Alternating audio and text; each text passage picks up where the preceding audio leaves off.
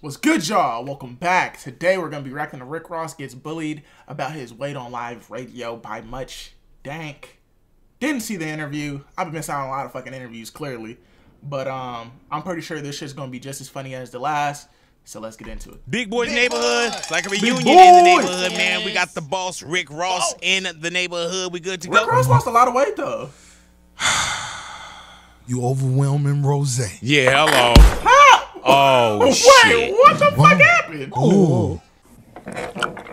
Do you know where you at? I'm so big homie fainted. yeah, yeah, yeah. Yeah. What the fuck? How does that come about? It was a statement that was made. Really, though? I hope I made that statement. Yeah, yeah, yeah. Yeah, so Oh, man, let's talk about about the album. Album number. How many do you have? Over a hundred. Damn. But you know what I was thinking about?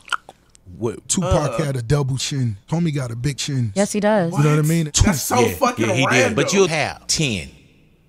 Oh, this is discrimination. Is it? Oh, it? there's no discrimination. I may mm, a total of maybe four to five. ten. What? four to five, ten. No, But nigga. mine came from not chins. getting rest. And basically my body just shut down for four weeks, three to four weeks. How do you know? Nigga, how do you survive Long that? story short, me and Pusha T had a doctor's appointment, and you know what's funny about that? What? They told What? me I don't have a penis. Oh, oh, oh stop it. And I Oh remember my the first God. time I really had sex before, Stop. I woke up and the girl just next to you understand? Yes. Why you sound like I Michael ain't Jackson? I heard that. It's something you got to embrace. That is. Oh my fucking really fucked up. God. hey man, I ask you off air, how much are you down weight wise? These questions, I A ain't lot, sure bro. about this. Little What bitch. do? I'm about Wait, what?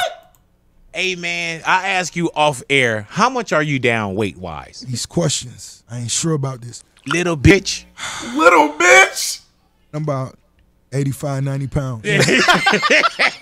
You Oh. were definitely not. Oh you, you a baby. Is it crazy that that you are a bitch? Did you know what? Why? Rick Ross in the neighborhood, man. Rose, Big Boys Big neighborhood.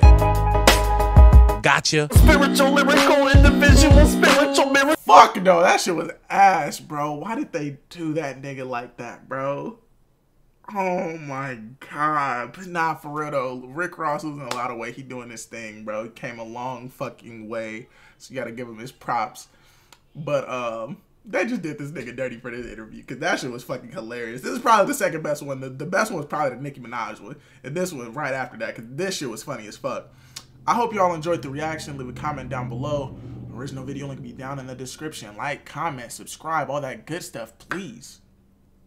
I know you're watching. I know you see the subscribe button. Hit that bitch. And I'll see y'all in the next video. I love y'all. Peace.